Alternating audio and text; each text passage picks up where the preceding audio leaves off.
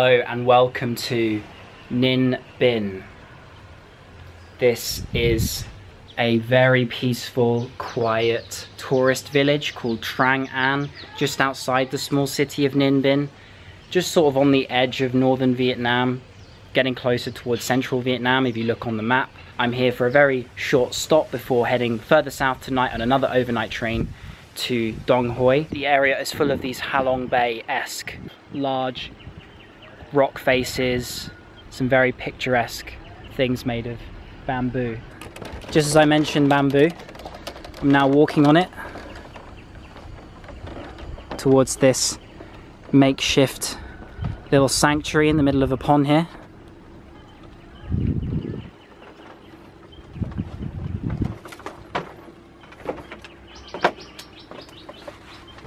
Pretty cool. Hello?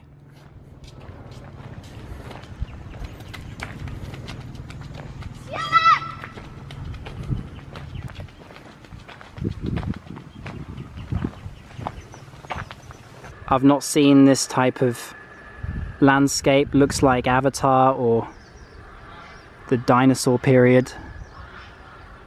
In fact, Kong Skull Island was actually shot here in this area of Ninh Binh, which is probably why it has this otherworldly look to it in a way, or sort of dinosaur period look, as I said. A lot of really nice homestays, which are very affordable here, run by authentic local people. Sun just getting lower now, reflecting that beautiful light onto all of the greenery around.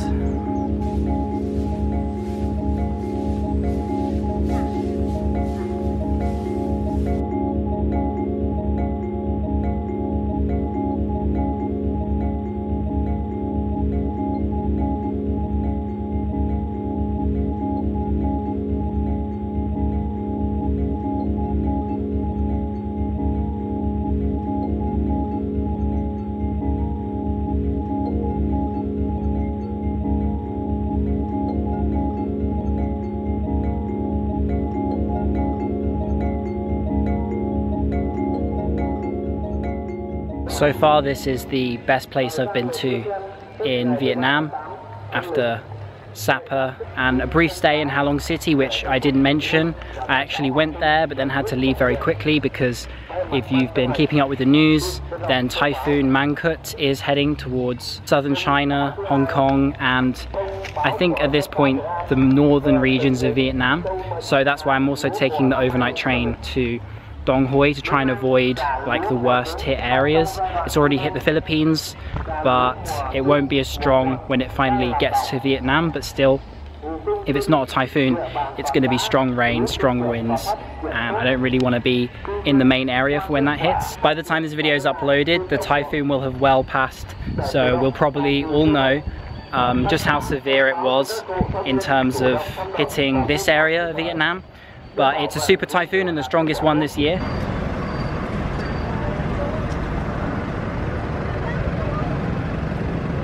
I've walked quite a long way, nearly one hour, maybe a little bit more, a few miles at the very least actually, and I've reached this place where you can actually take a boat, you can hire some people to row you, I think you can even go yourself, um, but it's a little bit late and I have to get back and shower, have some dinner before my overnight train but it's worth just looking at now before the rain kicks in, which it will in a second as it's starting to spit.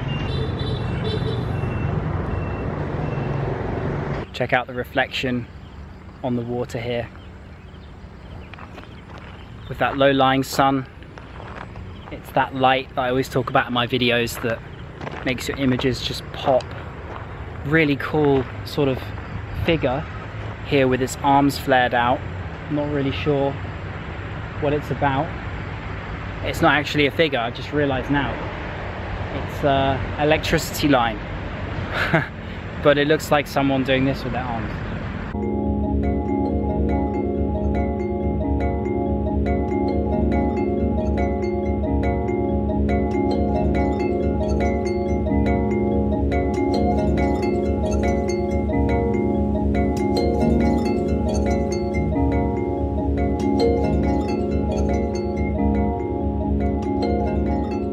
Darker, more reflections on the water here, tinge of mystery this time of early evening. Still so quiet.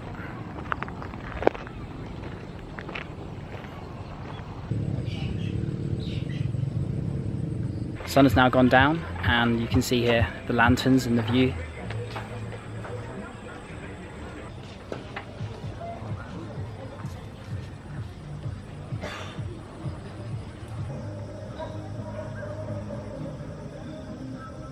Sitting here with this very peaceful view in front of my homestay and with that I'm going to end the video.